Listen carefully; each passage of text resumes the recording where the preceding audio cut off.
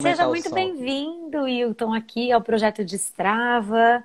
Hoje a gente vai falar Obrigado. sobre sabotadores, né? Os maiores sabotadores da comunicação confiante.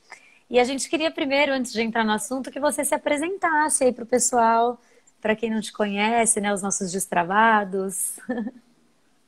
Então, meu nome é Hilton, né? Eu sou psicólogo já há quase, quase dois anos. É pouco, tão pouco tempo, né? Mas a gente gosta tanto que parece que já tem um tempão. Eu atuo na área clínica, moro aqui em Nova Venécia, no interior do, do estado do Espírito Santo. Monique conhece. E Opa! estudamos juntos, né? Para quem não sabe, o ensino médio todinho aqui. Que, que Foi só a oitava série, criatura. Não, prim primeiro e segundo sim. ano, não? Eu só morei um ano aí. Só um ano, foi oh, só a oitava série. Pra, pra você ver, o primeiro mico da live já. Assim que é bom, live, live boa é assim. Assim que é bom. Pois é. Atuo também na, na, parte organizacional, né? Que resumindo assim seria a clínica dentro das empresas. E estou fazendo duas pós. Uma em psicologia infantil e uma em ABA, que é análise aplicada, no caso. E no mundo. Que legal. Correndo atrás, atendendo em várias, várias cidades aqui do interior. Bom, então você, podemos dizer que você está por dentro aí dessa parte patológica dos sabotadores, porque, Hilton, a gente aqui no Destrava, a gente cuida daquela trava num nível ali que não precisa, a pessoa não precisa ser encaminhada para um psicólogo, quando o buraco não é tão embaixo. O buraco é mediano.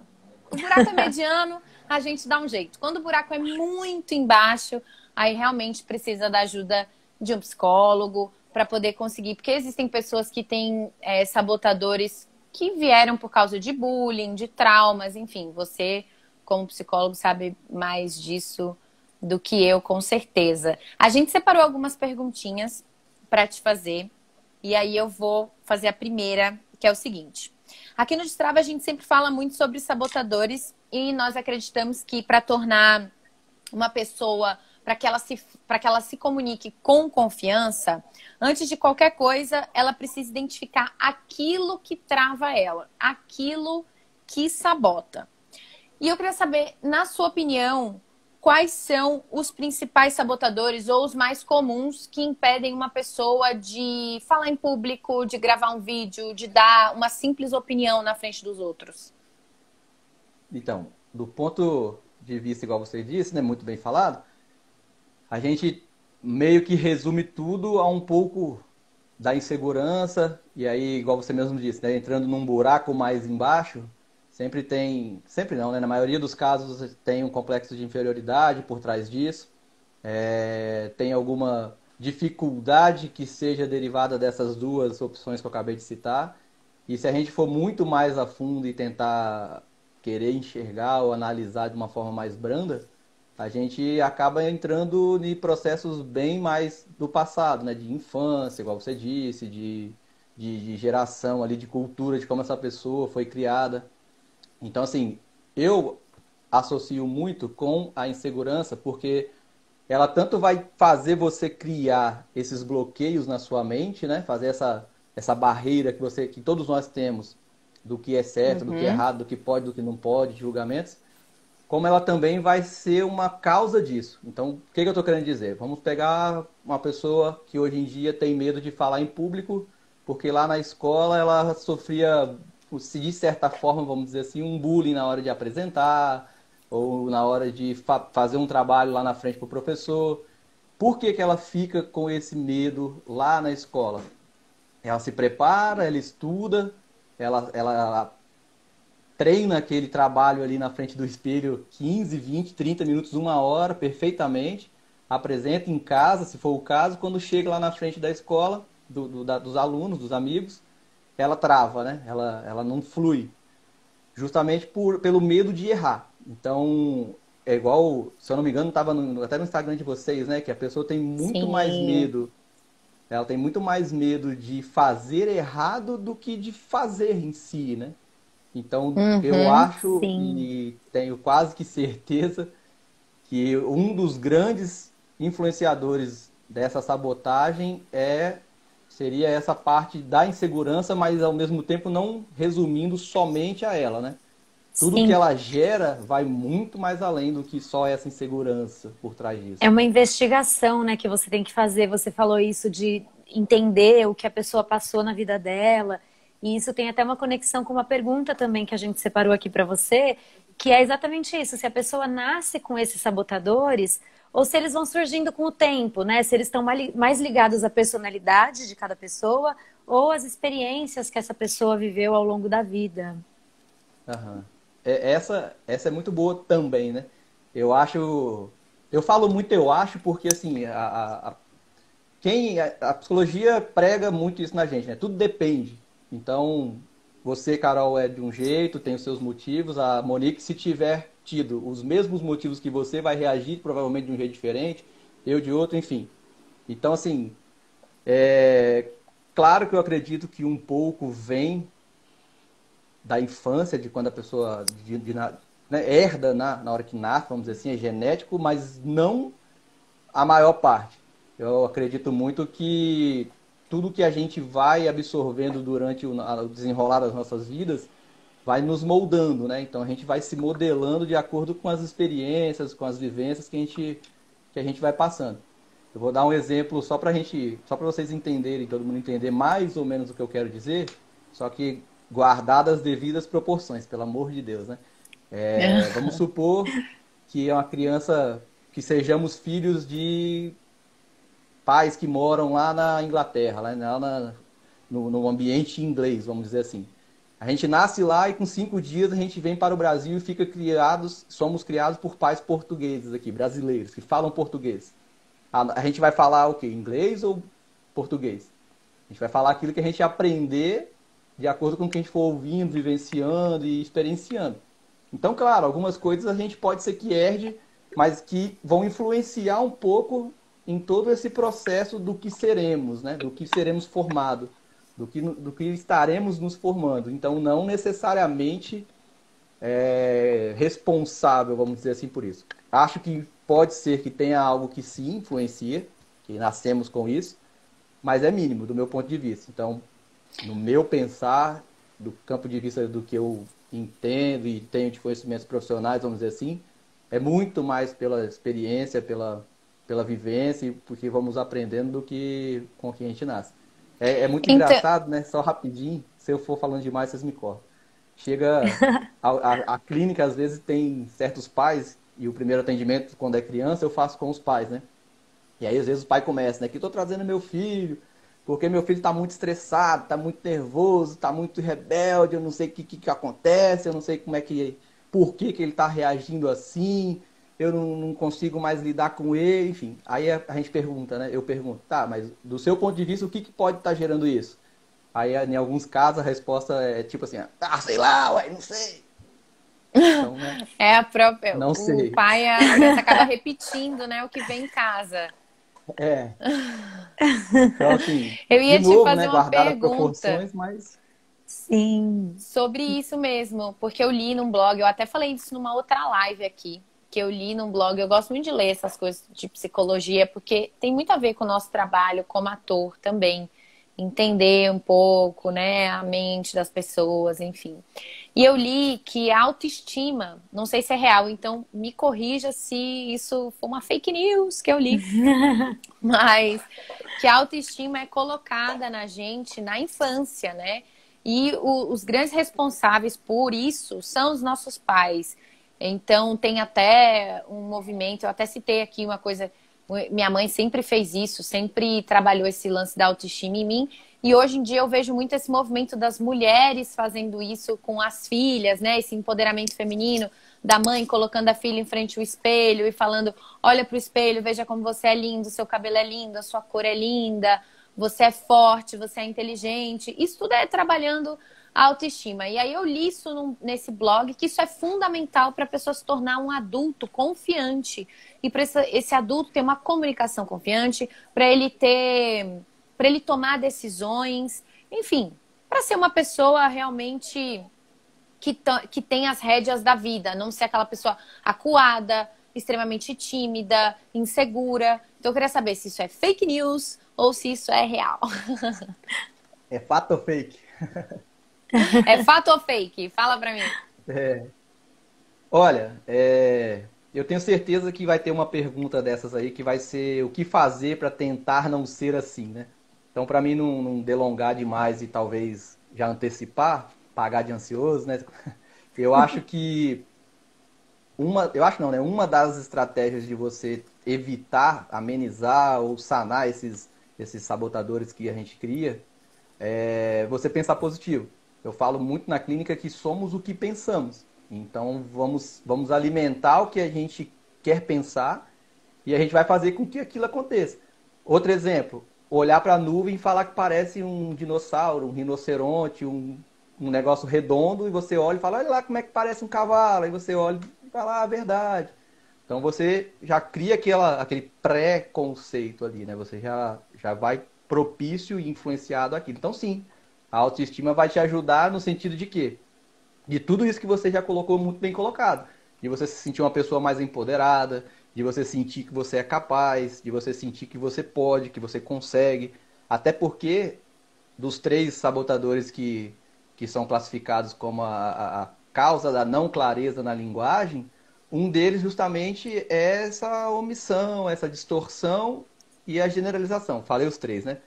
E aí, e essa falta de autoestima tá dentro de um deles, né? Que é você achar que você nunca é capaz, que você não é bom o suficiente, que você todo mundo é igual. Então você junta todas as três características de, de uma falta de clareza por conta de sabotadores que se resumem a isso, a você não acreditar em si. Não sei se eu, se eu respondi o que você uhum. queria perguntar, não, mas assim... eu perguntei se isso é colocado na, auto, na infância ou não. Aí eu vi até que, que a Bruna respondeu é, aqui que a autoestima é colocada um desde o feto, segundo estudos. Por isso, acariciar a barriga, palavras afetivas e etc. são importantes. Isso. Na verdade, a minha pergunta foi essa. Se é, isso é colocado na gente na infância, de fato. A autoestima é. é, colocada no ser humano quando você é lá um, um, feto, uma criancinha, um bebê. Ou se não, ou se não tem nada a ver. Ó, é, tem psicólogos que vão falar que sim.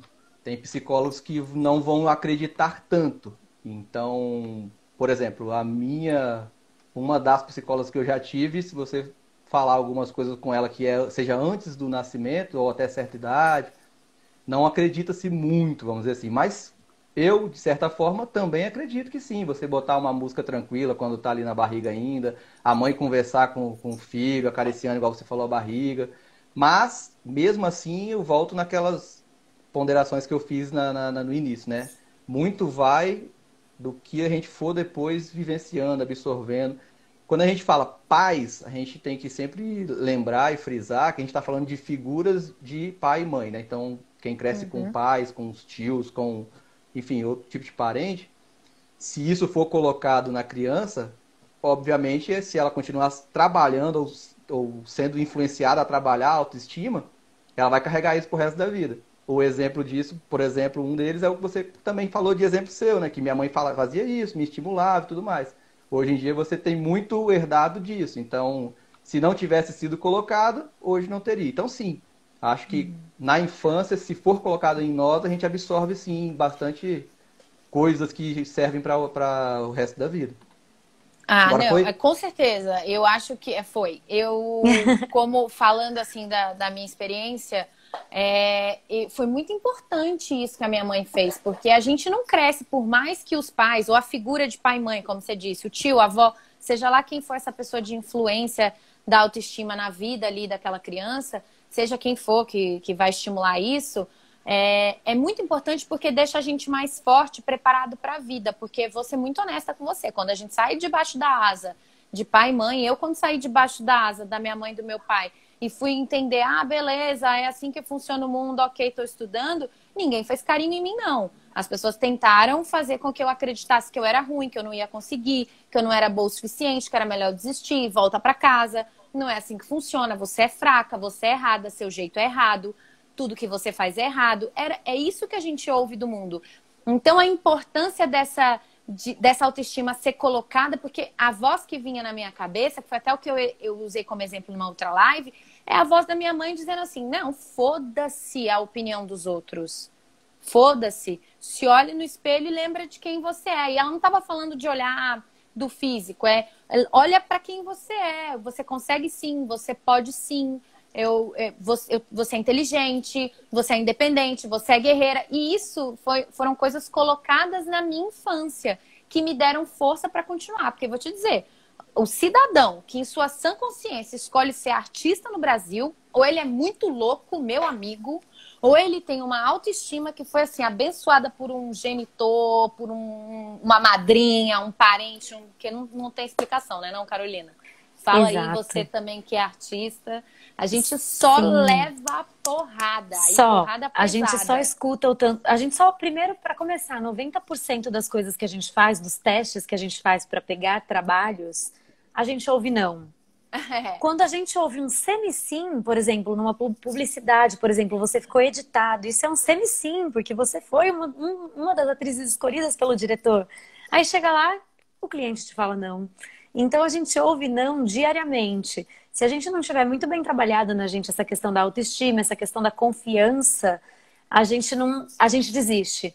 Não à toa que das 20, quantas pessoas que se formaram com a gente, Mo? 22? 33, ou 24? 33 começaram na nossa começaram, turma, se formaram 17 se, e, e, só nós duas só estamos nós duas na profissão. trabalhamos na profissão até Nossa. hoje. Então, ah, é, é, é difícil, então, eu não julgo é quem desistiu não. É, é muito difícil. Não... E isso é um negócio que eu vejo até a minha. Eu tenho uma afilhada, né? E eu vejo a minha amiga fazendo isso com a minha afilhada, trabalhando essa autoestima dela como mulher, deixando ela forte, ela preparada, falando, sabe? Porque nós mulheres, de uma certa maneira, a gente acaba sofrendo essa pressão, tanto física como intelectual mesmo, né? Porque por causa de uma sociedade machista, a gente foi tratada muitas vezes como se nosso intelecto fosse inferior ao intelecto masculino. Então a gente tem que lutar mesmo, trabalhar mesmo essa autoestima para conseguir competir de igual para igual aí na, nesse mundo que sim é tão alguém aqui comentou que violência, o mundo sim é tão violento é, através de palavras quando é para destruir a nossa confiança. E o que é, o que é responsável para que a gente seja um comunicador confiante, um ser humano confiante que a gente defende no Destrava, é o autoconhecimento, que aí entra muito a sua área, que é a terapia, né? A pessoa, ela, as pessoas antigamente, eu acho que a nossa geração não tem tanto isso, mas eu acho que a geração dos nossos pais tem um tabu de que ir no psicólogo, fazer terapia, coisa de gente doida. E não tem nada a ver. Fazer terapia é uma questão que, assim, é autoconhecimento, todo mundo precisa, todo mundo tem que fazer, é muito gostoso você descobrir os seus pontos fortes e os seus pontos fracos, né, Hilton? Porque é isso que a terapia Faz, falando aqui de um jeito bem leigo, eu sei que o uhum. trabalho de vocês é muito mais profundo, mas de uma certa maneira a terapia ajuda a gente a olhar para dentro, né? Enxergar as nossas potências, as nossas fraquezas e aprender a lidar com elas, né? Você tá bem, hein? Menina, eu tô afiada, tá fiz a lição ela, de casa. né? É, é, mas, mas fiz é... aqui, estudei. Quase, quase não sobra nem nada para mim falar. Você, você foi perfeita sem não é desculpa de, de, não querer abordar ou relatar mais nada, mas assim, é literalmente isso. É o que a gente fala, né? É só fazer a pessoa se conhecer. O que o resto vai vir. Então, é, é por exemplo, todos esses isso, então todos esses exemplos que vocês citaram de vocês, de outras pessoas ou de situações, como que vamos voltar de lá na criança de novo, né? Como que uma criança vai ser preparada para a idade nossa ou daqui para frente, ou seja, o que for, se ela, de novo, né, não for preparada. Então, assim, ela uhum. vai saber pedir mamadeira, vai saber pedir chupeta, dadá, papá. Se você não for ensinando, quando ela começar a ter já é, é, intelecto, quando ela começar a ter cabeça para isso, nas, nos tempos certos e corretos e devidos, como que você quer que depois ela, ela fale inglês se ela aprendeu ouvindo português? Então, como que você quer que ela seja uma criança tranquila e calma se você não sei não? Que... Entende? Então, uhum. como você quer que ela seja Sim. empoderada se você não faz todo esse trabalho igual você citou e pontuou muito bem? E com relação à terapia, à psicologia clínica, é isso que a gente preza bastante, pelo menos é o que eu prezo bastante, né? O amor próprio. Autoconhecimento vem do amor próprio e com amor próprio você vai ter mais autoconhecimento. Então é um ciclo bom que vai uma coisa puxando outra sabe? É tipo, uhum. bota dinheiro na poupança, quanto mais você coloca, mais rende. Então, quanto mais rende, uhum. mais tem, mais tem, mais rende. só assim que você consegue sair de um relacionamento abusivo, que você consegue ficar mais empoderada, Sim. que você consegue entender que você como mulher, ou você como homem não é merecedor de coisas que você não esteja achando que sejam boas para você e tenha que continuar. Só assim você vai entender que a sua infância talvez tiveram vários pontos que hoje em dia fazem você ter ou ser um sabotador, né? Ou ser ou ter um sabotador. Porque a gente está falando muito de termos pontos sabotadores. Mas também a gente Sim. sabota outras pessoas para serem sabotadores. Bullying, enfim. Uhum. Então, tudo Super, isso é muito importante. Né? Você se conhecer, muito. você ser conhecedor de si mesmo. Senão, não, não vai. É, e você ter consciência né, daquilo que são os seus potenciais, as suas qualidades e do que te sabota para você poder trabalhar, para você poder criar ali a sua realidade, né? O Rei Mivaldo comentou ali para cima, no trajeto de nossa caminhada, criamos nossa própria realidade. E eu acho que isso que ele disse tem tudo a ver com esse trabalho de autoconhecimento, né? De entender é, quais são os meus pontos fracos, o que eu tenho que melhorar para reconhecer. A primeira coisa é isso que você falou, é reconhecer que eu sou sim uma pessoa digna de, de ter coisas legais, de ter coisas boas, de ser bem tratada, né? Eu acho que isso é, é fundamental. Uhum. Sim, e uma e coisa aí, assim, também pode... que. Opa, desculpa. Não, não pode. Não, pode falar, conclui. Não, eu é só concluir também que, assim, só para para a galera que está assistindo não achar que a gente está talvez fugindo do tema, mas é tudo que a gente está falando que talvez não pareça ser relacionado com sabotagens, né, com sabotadores, com elementos sabotadores, são situações e são comportamentos e são é, é, é, moldes que vamos pegando e, e, às vezes não nos livrando dos que são precisos, que nos tornam ser isso que a gente está hoje na live comentando, né? Sermos sabotados, sermos inseguros, uhum. sermos, termos receio uhum. de fazer certas uhum. coisas. Então, só para ficar para não achar que a gente está viajando. Tem, não, né, tem tudo assim. a ver. E isso que você falou da gente deixar de fazer as coisas que a gente quer fazer. O Fabrício, ele comentou também que desde que ele resolveu abrir uma empresa, desde que ele resolveu virar empresário, parece que ele perdeu família e amigos, porque todo mundo achou ele doido. E, e, isso tem muito a ver com vencer os sabotadores e ter coragem de fazer aquilo que você tem vontade, né? E é um passo muito corajoso isso. É você identificar ali, não, eu quero fazer isso e não importa o que os outros dizem, não importa o que qualquer pessoa fala, eu vou fazer. Vou fazer, Total. não vou deixar o meu sonho Exatamente. de lado por causa da crítica das pessoas, né?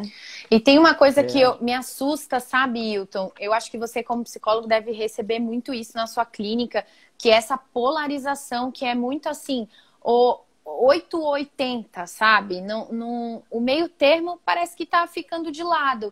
Então, é, tá certo, tá errado. Não, é muito louco. As pessoas querem encaixar as outras numa caixa e essa caixa não cabe todo mundo, porque nós somos únicos e a gente não cabe na, na caixa dos outros. Isso é, isso é muito. Eu fico. Chega a me dar um. Eu, quando eu vejo uma pessoa fazendo isso, eu falo, meu Deus, para. E eu vejo que a gente herdou um pouco isso também da geração dos nossos pais. E aí eu fui investigar, ler, para entender por que, que eles vieram com esses medos, né? Eu entendi, pô, nossos pais, é, eles são de uma geração é, pós-ditadura, viveram a ditadura. Então eles têm muito, eles são muito conectados com a escassez. Então é aquelas, aqueles sabotadores que tem, ah, ó, tem que trabalhar duro para ter dinheiro. A vida não é fácil não, viu? É tudo muito difícil. Tá achando que o dinheiro nasce em árvore? Tá não sei o que lá, blá blá blá. É, não é fácil não, isso é coisa de vagabundo, tem que trabalhar muito, tem que, ter um, tem que ser funcionário público, tem que fazer concurso, tem que ser médico, tem que ser advogado. Tem, que ser, tem são que fazer essas faculdade. coisas. Tem que fazer uhum. faculdade. São umas coisas assim que se você entende, obviamente, quando você é um adulto, porque quando você é uma criança, você né, não tem a menor noção.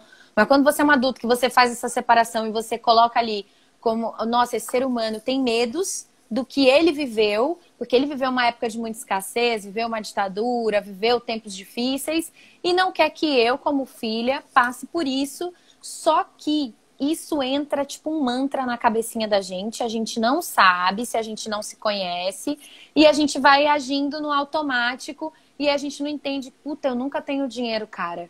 Minha vida é uma dureza sem fim, não sei o quê, porque tá com esse, esse essa escassez, esse sabotador engruvinhado aqui na mente. E aí é onde a terapia identifica de um jeito muito, eu acho demais. Eu juro para você que se eu não fosse atriz, eu queria muito fazer psicologia, porque eu acho incrível o jeito que vocês descobrem isso com a pessoa se abrindo, com a pessoa ali desabafando e vocês pegam, pá, tá aqui esse sabotadora, tá aqui nessa história. Vocês descobrem e conseguem fazer a pessoa jogar luz e dissolver esse sabotador e aí sim abrir caminhos. E isso na comunicação, só linkando com o nosso tema, é a mesma coisa. O mesmo sabotador que foi colocado na sua cabeça, não, mesmo se foi com 20 anos de idade, do olha, não fique levantando a mão sempre na sala de aula, não, senão as pessoas vão achar que você é sabichão, viu?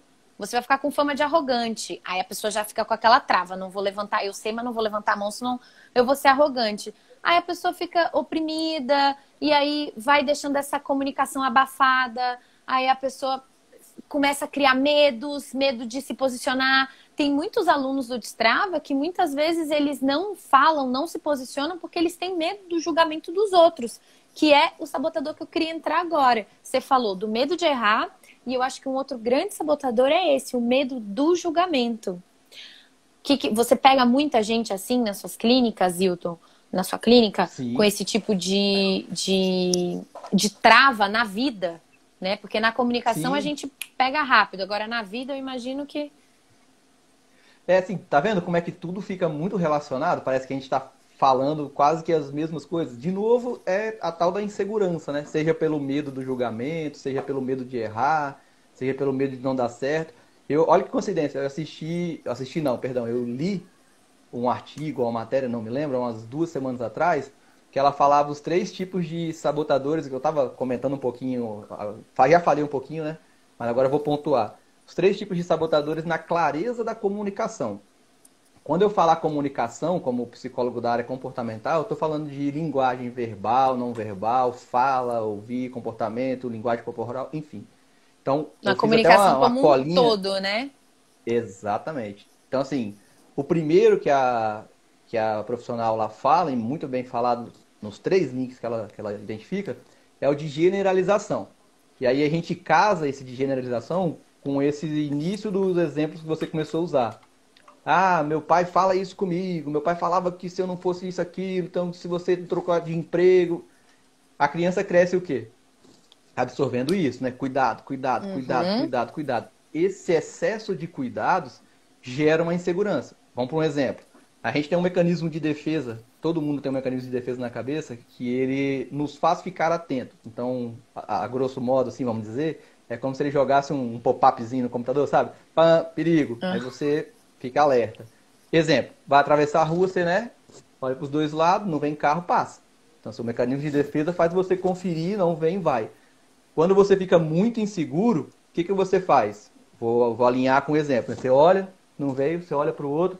Meu Deus, mas será que enquanto eu estou olhando para cá, do lado de lá veio? Aí você olha de novo, então olha a insegurança. Aí agora, será que do outro. Aí você impacta. Você não atravessa a rua porque você acha que nesse tempo já pode ter vindo outro carro. Então, Tá vendo como é que bate muito com o que você falou e de novo, né? Muito bem falado. A gente vai sendo influenciado, a gente vai absorvendo coisas, palavras, verbalizações, né?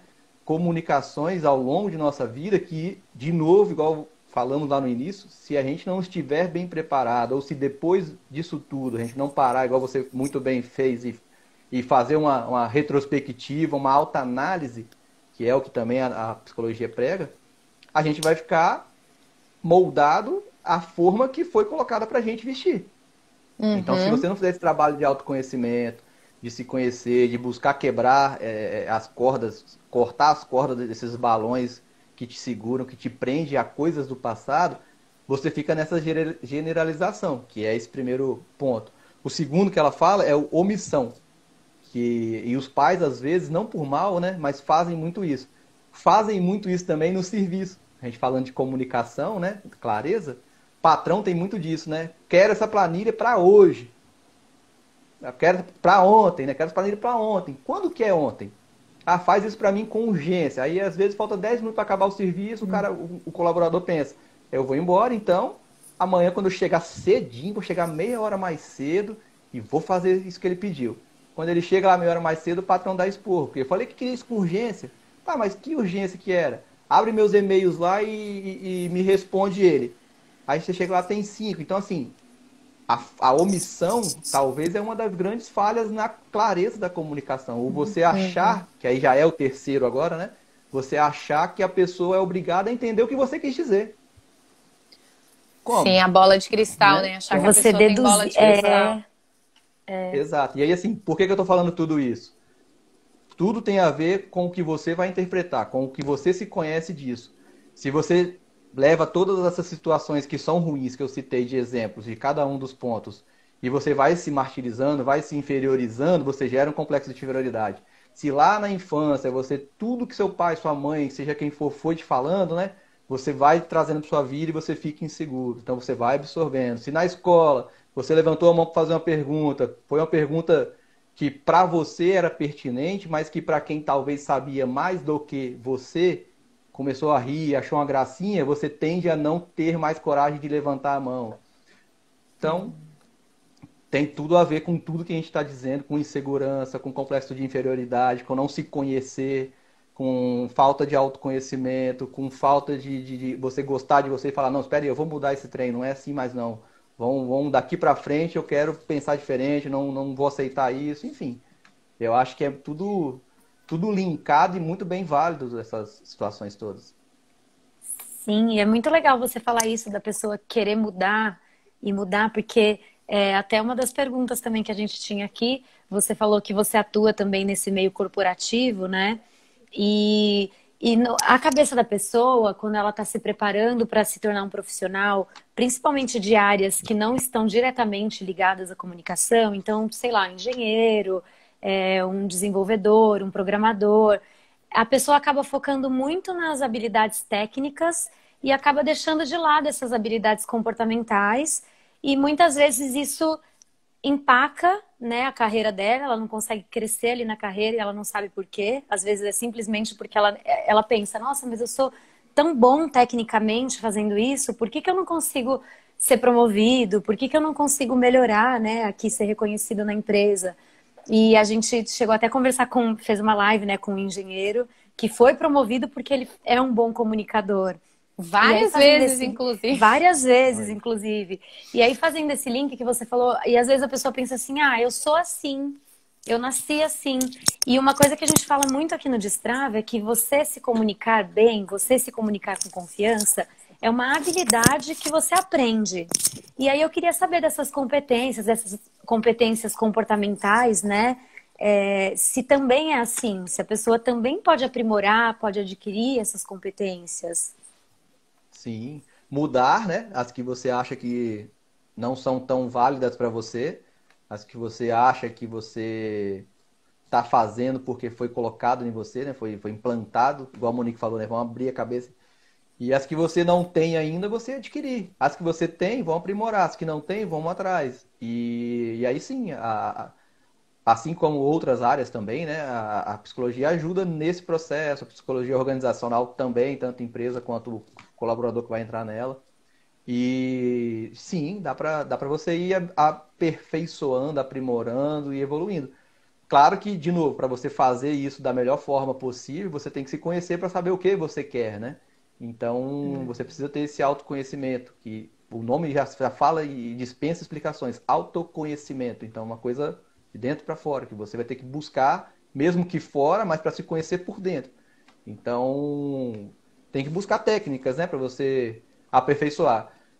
Terapia, o projeto de vocês com certeza ajuda nisso também, muito bem, com uhum. certeza muito bem feito. Livros, e às vezes de, de muita gente fala, ah, vou ler livro de autoconhecimento, que isso, aquilo. É eu leio o livro como psicólogo, eu leio o livro de autoconhecimento, e tem gente que vai me crucificar um absurdo por eu estar falando isso, tá? Mas se eu acho que eu, que eu, se eu acho não, se eu tiro proveito dessas ferramentas, por que não? Então, se eu não me Sim. conheço, eu não vou fazer isso. Eu vou seguir aquele instinto rebanho ali que a gente tem na sociedade, a tendência de seguir um, um padrão, porque a sociedade quer aquilo, que a gente acha que a sociedade quer aquilo, que a gente acaba não entrando nessas, nesses pontos que você perguntou, né, Carol? De, de se aperfeiçoar, de buscar, de melhorar, de se aprimorar, é, se desenvolver. E eu acho que se existem. Sim, eu acho que se existem todas essas opções, então tem o psicólogo, tem o projeto de Strava, tem livros, tem N possibilidades que você é, que, que estão aí no seu caminho. Eu acho que você tem que ir testando todas para entender uh, qual ferramenta vai te ajudar mais, porque cada ferramenta trabalha de uma forma muito diferente, né? Então, Sim. cada pessoa precisa de uma coisa. E, e também está tudo ligado ao tão falado autoconhecimento, que a gente está aqui o tempo todo falando disso, e é a chave fundamental para você identificar os seus sabotadores e para você aprender também a, a contornar, né, a vencer esses sabotadores, que aí é uma fase seguinte, né? Depois que você é. identifica, é. você aprender a, a curar, a vencer cada uma dessas coisas que te trava, né? Sim, é, o caminho eu penso que é esse, né? A ordem, as prioridades são exatamente essas que você pontua muito bem colocado. Você não consegue mudar uma coisa que você não sabe o que, que é que precisa ser mudada. Então, como que você vai saber o que, que você tem que mudar? Se conhecendo. Então, de novo, autoconhecimento. Então, de novo, se amar, se gostar de você, acreditar em você, se empoderar, se conhecer. Só assim para você fazer tudo isso, é, matar esses demônios que ficam te privando, te deixando inseguros, te deixando receosos.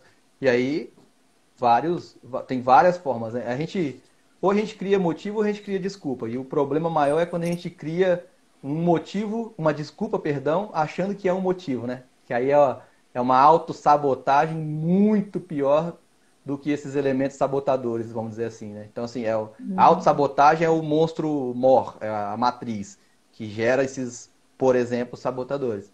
Então, se você não vai malhar porque vai chover com uma nuvem desse tamanho no céu, meu amigo, isso aí não é o seu motivo, isso é a sua desculpa. Né? É verdade. Então, você tem que criar estratégias. Vai ter essa Maravilhoso. o que fazer? Vai, vai ter o que fazer. Se você já quiser responder, você fica à vontade. O que fazer para a gente poder vencer esses sabotadores? É, superar, né? Na psicologia a gente fala, eu falo muito de superar. Então, já falamos bastante deles e só não pontuamos detalhadamente, né? Mas então, autoconhecimento, que eu acho que não precisa especificar e detalhar mais, né? todos nós, nós três falamos muito bem falados. É, criar estratégias para você conseguir identificar quais são elementos, quais são os elementos sabotadores seu. E como eu falei, somos o que pensamos. Então, essa questão do desculpa, do motivo e, e, e, e desculpa é muito propício a esse ponto do que fazer. Digamos que você tem aí uma uma coisa que uma situação que você não faça, que você tenha medo, né? Então, ou você se prende aquilo e usa aquilo como carcaça para não ter que fazer, ou você cria uma situação, cria uma maneira para poder resolver aquilo.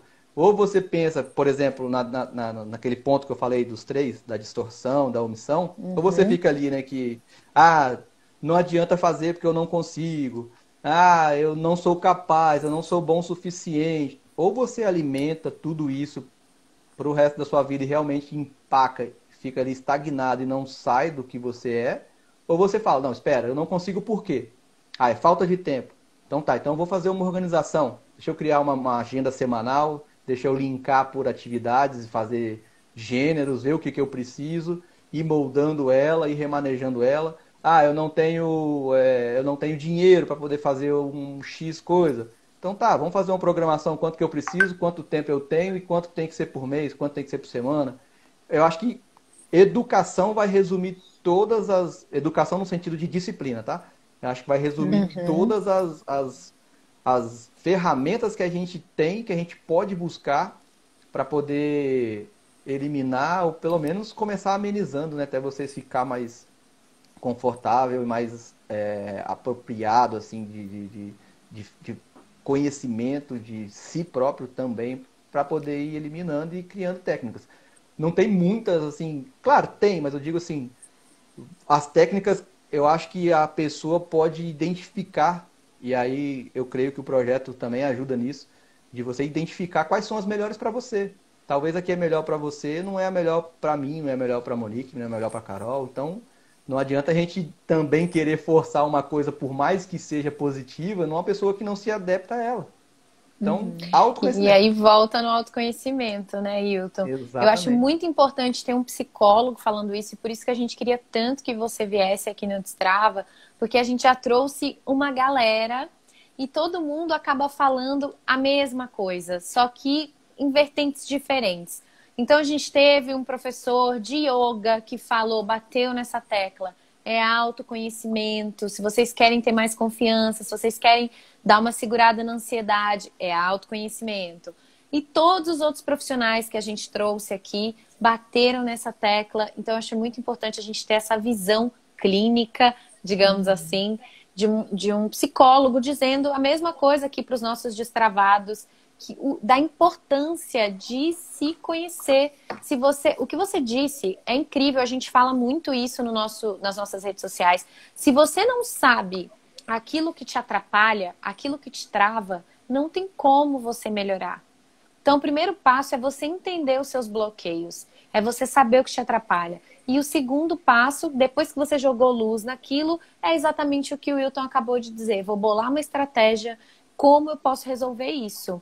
Vai ser fazendo um curso? Vai ser fazendo terapia? Vai ser sozinho? Cara, não sei o que funciona para você, mas se você precisa de um plano de ação, você precisa, uhum. porque também deixar no campo da ideia, né, Hilton? Não funciona. Isso. A gente precisa trazer, escrever, materializar, digitar, não sei. A gente Isso. precisa agir.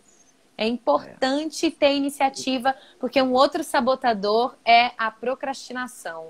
Hum. Oh, meu Deus, como a pessoa que como a gente, como o ser humano procrastina. Se a gente não se policia, a gente procrastina tudo na vida, né? Por quê, meu. Deus? É muito, é muito mais fácil a gente ficar na zona de conforto, que não é nada confortável, né? Eu falo muito, porque ela é mais cômoda, vamos dizer assim. Então, uhum. segunda eu começo, depois eu faço. Ah, eu já fiz hoje um pouco, amanhã eu faço de novo. Você vai se enganando. E aí entra o monstro maior que eu falei, né? A autossabotagem. A procrastinação é a principal fonte de energia da, da, da autossabotagem.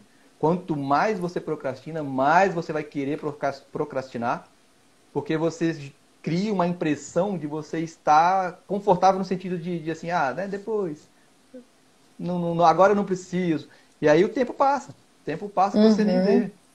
Então, assim, é exatamente isso. Você criar essas estratégias, igual você falou, igual eu falei, é, saber são, quais são as melhores para você. E isso você só consegue com, com esse autoconhecimento que a gente está tanto batendo na tecla e, e, e falando aqui. É, e a pessoa também tem que entender que não existe milagre, né? O trabalho ele existe um tempo e cada um tem um tempo para sua própria evolução. Pode ser que uma pessoa responda à terapia super rápido. Pode ser que a pessoa fique mais um tempo. A mesma coisa acontece com o Strava. Tem gente que aplica a técnica que a gente dá ali no, no Insta e já vê resultado, manda mensagem falando: Nossa, porque eu fui gravar um vídeo, fiz isso, foi muito melhor e bombou. E tem gente que tem mais dificuldade e as pessoas têm que aceitar também que cada um tem um tempo de evolução, né, Hilton? Exatamente. Eu mesmo estou enrolando, fiquei enrolando para começar a gravar vídeos há um tempão. Depois de muita bronca, muita pressão, que eu vou tentar começar. E eu vou precisar destravar um pouco também. Se... Olha tá aí, vamos assim... aí. Pode contar com a gente.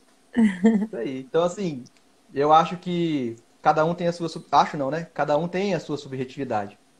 É aquele ponto que eu falei, que o que é para um pode não ser tão legal para o outro. Então, por isso que eu uhum. digo que a gente tem que ir vendo o que é melhor para nós mesmos, né? E só trabalhando esse poder que temos dentro de nós de, de nos conhecermos. De Sim. buscar uma, uma ajuda, de, de achar que. de ser humilde, né? E falar, não, isso aqui eu não consigo sozinho, então eu preciso de outra área, de outro profissional, de uma outra ferramenta, de um outro conteúdo.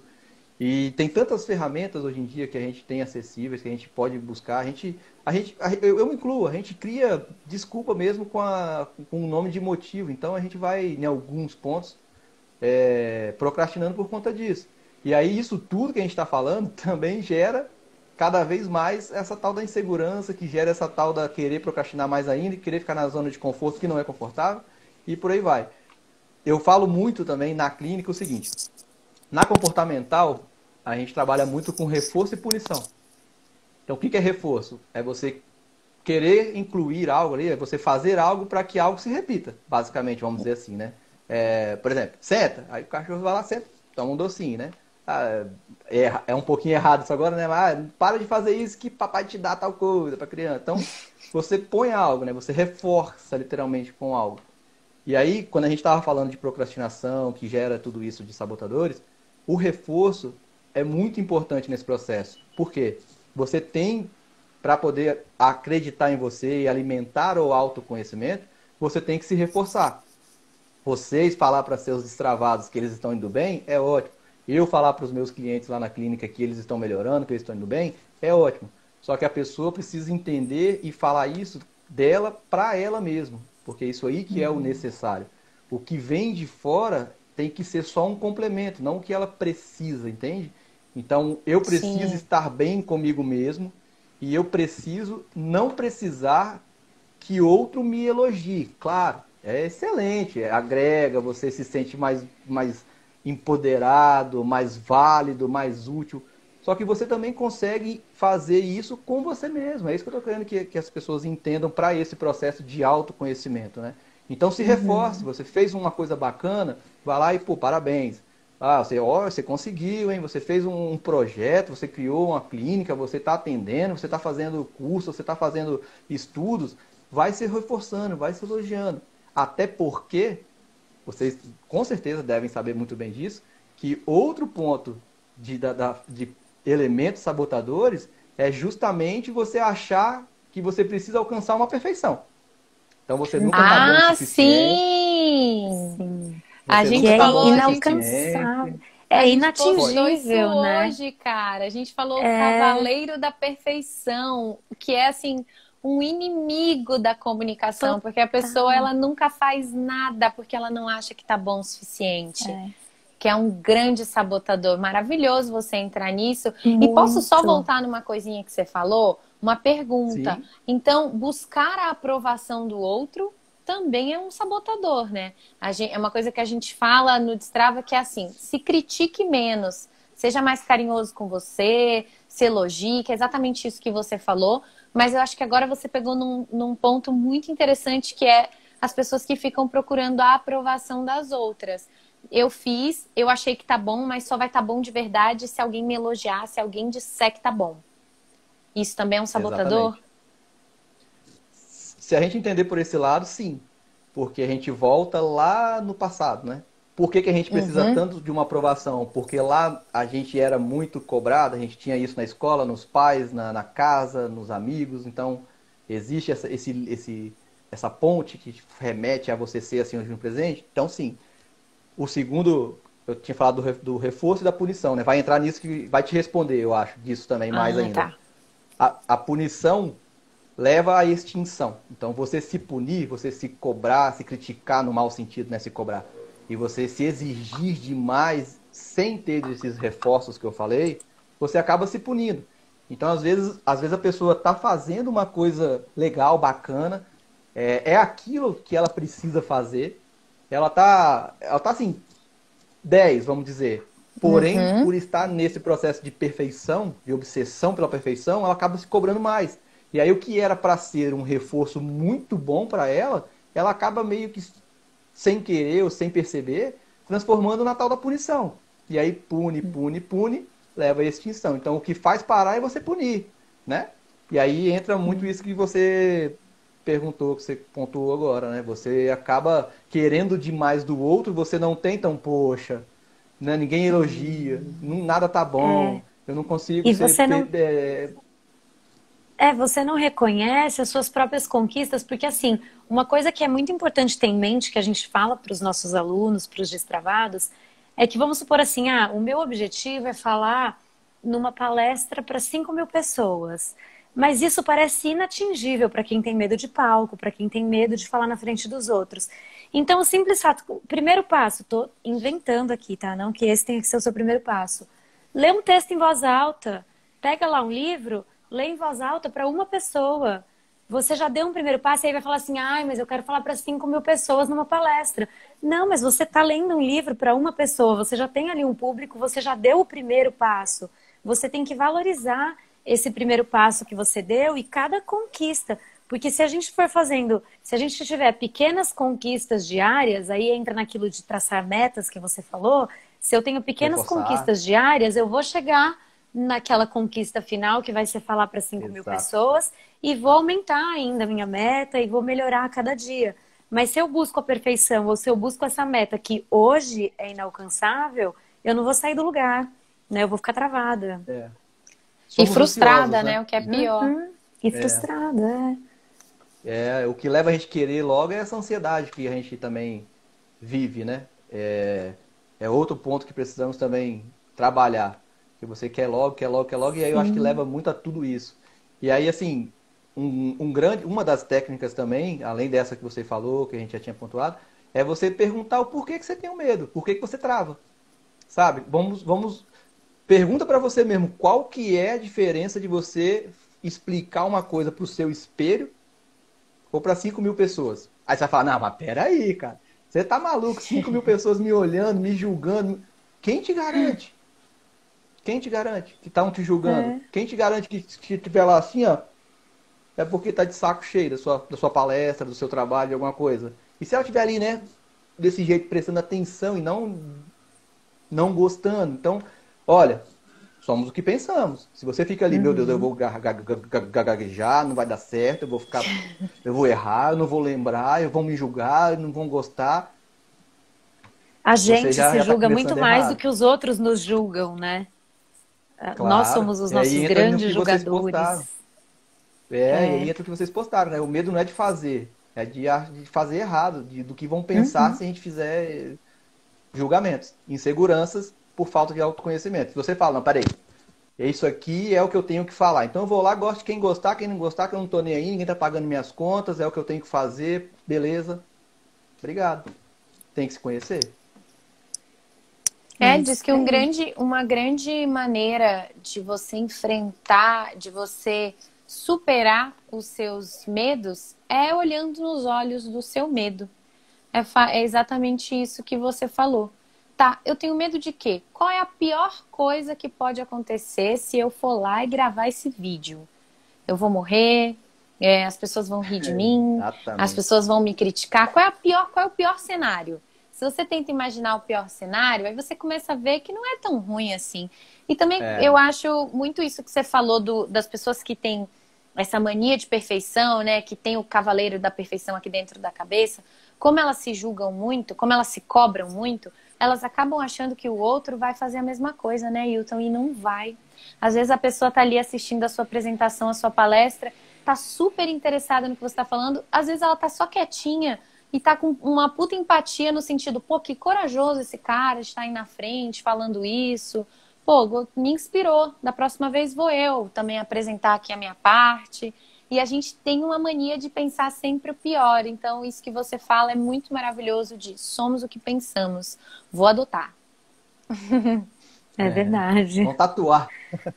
Mas é, Vou tatuar é na testa, pra né? lembrar né? Na testa, aqui, Somos o que pensamos, galera. Somos, Somos o que, pensamos. É. Hoje a gente postou Esse... uma frase legal que é o feito é melhor que perfeito para os cavaleiros da, da é. perfeição. Da perfeição. É, é, eu assisti, ouvi uma live hoje, né? Uma live não, um, um videozinho no YouTube para dar uma preparada para o tema. E que tem uma, é. eu esqueci o nome dela, mas tá aberto por aqui. Ela fala, falou isso, exatamente o que você, que você disse, né? Melhor feito do que perfeito, né?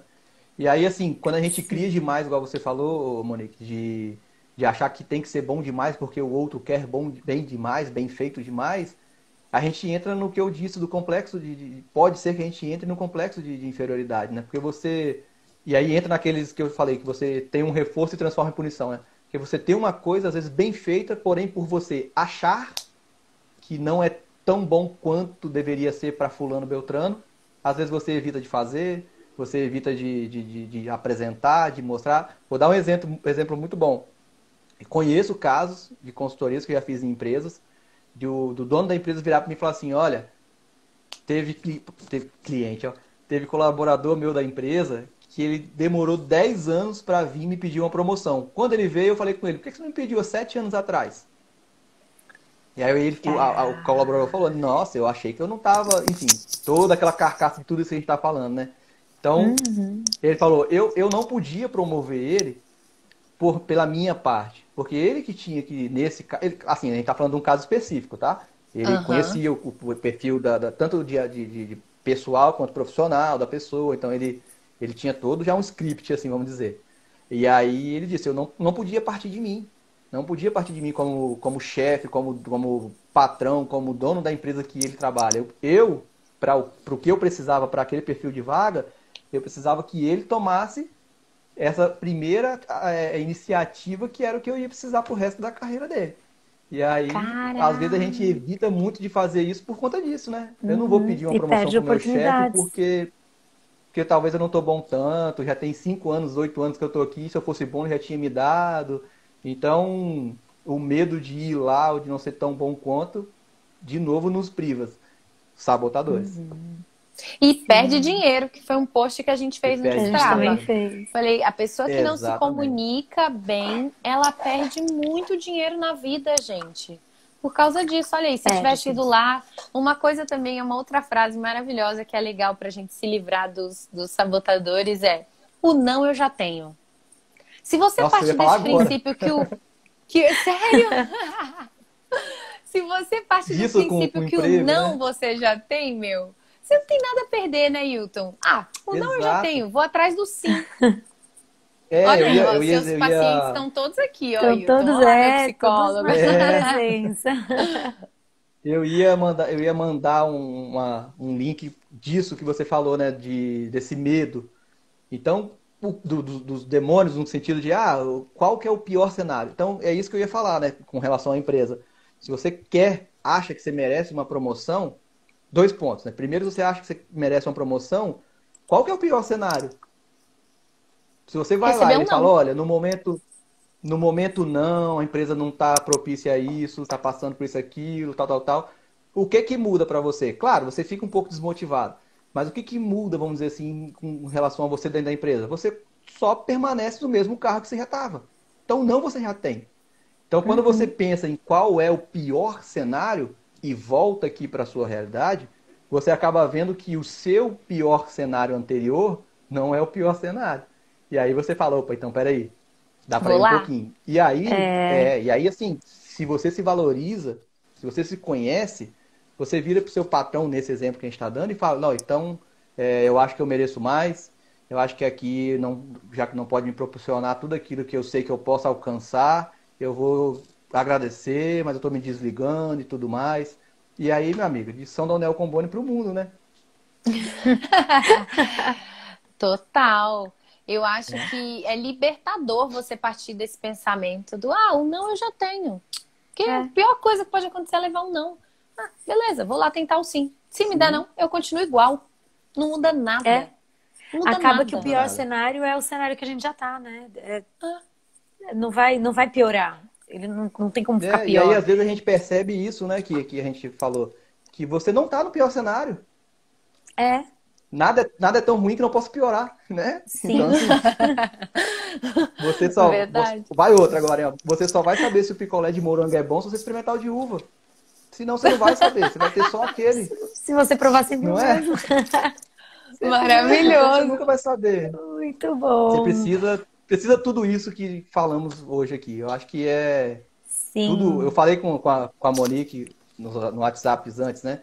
As duas últimas lives que eu, que eu tive a oportunidade de assistir de vocês fala muito isso de, de, de comportamental, de linguagem, de verbal, não verbal. Então, casa muito com isso. Porque, além de ser um tema é, que tem uma certa afinidade, fala de pessoas. E aí junta tudo. Então, assim, tudo leva a tudo. Por isso que a gente está falando de um negócio, volta para a insegurança, volta para o autoconhecimento, que liga com a infância, que liga com o que somos hoje, que liga com o que a gente quer, com o que pensamos. É isso. Eu acho que é muito disso. É Está conectado, né? É. Agora, eu queria muito que você voltasse para uma próxima live, porque você tem aí toda uma especialidade em linguagem corporal e a gente queria fazer uma live toda sobre isso. Específica. Porque acho que as pessoas, né, Carol? As pessoas têm uma visão Eu muito acho. errada, Hilton, da linguagem corporal. Eu não sei se são esses livros que tem, que são muito 880, aquilo que eu falei no início, que ah, se a pessoa tá de braço cruzado, ela tá de bode de você. Se a pessoa deu uma franzidinha na testa, não é porque ela é míope, não, é porque ela tem ranço de você. Então, essas coisas deixam as pessoas com, com uma visão da linguagem corporal muito errada. E que, na real, não é assim. Então, eu tenho muita vontade de fazer uma live, porque com você, que é uma pessoa que é especialista nisso, para a gente bater esse papo, trocar essa é. ideia aqui com os nossos destravados e também topar. com os seus seguidores. se você topar, fica aí o convite com essa pressão pública Viu, você aceita, A Monique cara? sempre faz isso, tem que começar a avisar os convidados. Ela é, eu sempre convido na frente de todo mundo. Vivo, essa, como é que a pessoa fala pessoa não? não fala não. Aquelas, brincadeira, fica super à vontade pra falar não, entendeu? Ainda bem que eu trabalhei nos sabotadores hoje, né, Carol? Senão, como é que eu ia falar né? não Ainda pra ela? Senão... ah, é. não, mas vai ser um prazer, aqui, ó, vai ser um favor, prazer. Faremos, claro, então. claro que, claro que assim, é, eu sou um mero e humilde conhecedor um pouco dessa área, né? Quem fala, no caso, isso de ah, fez isso, quis dizer não sei o quê. Gente, entra no. no, no, no olha eu fazendo mexer, né? Entra no, no, no YouTube, vocês devem ter visto com certeza, do, do Vitor, da Metaforando, que aí vocês vão ver o que, que é você achar que você entende expressões faciais, de microexpressões, de saber se isso aqui só. Não dá. Então, assim, você achar que porque a pessoa fez isso, ela quis dizer que né? A gente está como Acaba... chama? Então, Você consegue colocar aí, Carolzinha, nos comentários, porque o meu tá sem a opção de escrever é, aqui. É porque eu. eu só jogar tô... no, no Google metaforando que já abre. Ele é, metaforando. Ele é um perito. Vou, vou isso, colocar é aqui. Nessa área, metaforando. Um assim, escrevi certo? Ou passei, aí, ó, paguei a TT colocou, metaforando. Aí, metaforando. Estefânia, Boa. obrigada. Nossa, Oi, comentários Rafa. Então, o Rafa chegou quase no fim da live, mas bem-vindo. Então, Hilton, muito obrigada. Vamos então marcar essa próxima. Eu Vamos. queria agradecer também todo mundo que acompanhou aí a live. Quem pegou pela metade ou pegou no final, a gente vai disponibilizar é, no, nosso, no nosso feed, então é só reassistir. Adriana, top demais, quase uma sessão. Você viu, Adriana, que privilégio tivemos aqui uma Tá vendo? A gente não teve nem que pagar pela hora do psicólogo, gente. Vamos trazer ele mais vezes, aquela. Viu? Vou cobrar uma aulinha do curso. pode cobrar, pode cobrar. A gente, você é nosso convidado, foi, foi um pelo amor de Deus. Olha o Rafa falando, metaforando é bom demais. Muito legal. Não, foi um, mas foi um prazer participar, ajudar, passar um pouquinho de, isso é o mínimo, né? E aí, assim, eu queria. Dá tempo ainda? Lógico, dá, fica à vontade para falar o que você quiser, dá tempo. Eu, é, eu queria só, só deixar bem claro que a gente está aqui falando, assim, de, de, de pessoas, óbvio. E aí, quando a gente fala de pessoas, a gente não consegue dizer ou atingir um perfil específico de alguém, justamente por Sim. cada um ter a sua subjetividade. Uhum. Então, assim, uhum.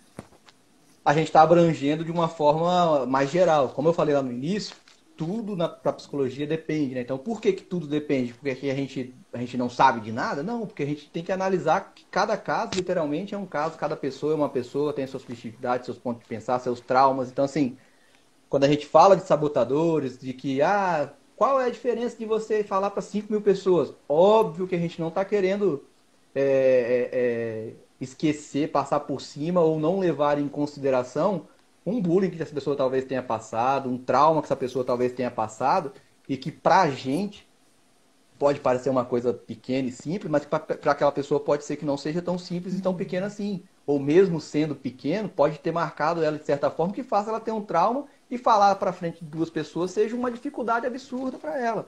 Então talvez ela tenha algum uhum. transtorno, talvez tenha algum déficit, talvez tenha alguma disfunção, tudo isso a gente não, se a gente for entrar nesses detalhes, a gente tem que fazer uma live de semana. É tudo muito assim. particular, então, né? Exato. Então, só para assim, para ninguém achar que a gente tá, ah, mas vocês estão falando isso porque vocês não sabem o que, pelo amor de Deus. Só para ficar bem clarinho Sim. mesmo. Só para reforçar, só para deixar reforçar. Claro. É sempre importante reforçar, é. Eu também quero é. te agradecer, muito obrigada pela disponibilidade é papai, tem um filhinho pequeno, chegou agora do trabalho, tem que dar atenção para a esposa, para o filhinho, tá aqui, tirou um tempo para ajudar a gente aqui no Destrava. Te agradeço demais de coração, foi incrível essa live. Tenho certeza que os destravados adoraram, tanto que eles estão pedindo para você voltar. E aí é, você já falou que volta. Você falou que volta?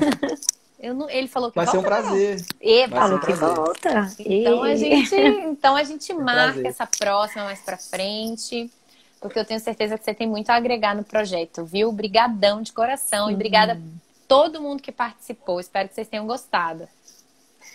Obrigada, viu, gente? Beijo. Eu também Boa agradeço. Noite. Muito obrigado. A você Boa e a todo noite. mundo que participou dos clientes, amigos. Tá bom? Tudo de bom. Tá bom, beijo. Tchau, tchau. Beijo, boa noite. Tchau, tchau. Tchau.